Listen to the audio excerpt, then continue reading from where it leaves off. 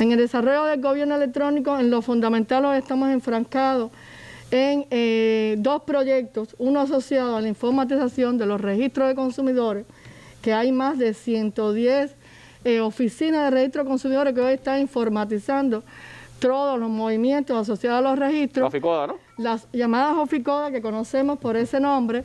Y además en el perfeccionamiento e informatización del registro comercial. El registro comercial es un registro público que eh, va a permitir con eso que ya todo el que se vaya a registrar porque hace alguna actividad asociada al comercio no tiene que presentarse a las oficinas que hoy están habilitadas al efecto, sino que puede hacer todos los trámites de manera virtual. Eso va a ser bueno para las entidades, pero también para los trabajadores por cuenta propia. También para los trabajadores por cuenta propia, porque van también a registrarse en su momento todos los que hacen actividades asociadas a la Rectoría del Comercio, también tiene que, digamos, registrarse para tener el control que ellos también, cada uno de ellos hace actividad asociada al sistema.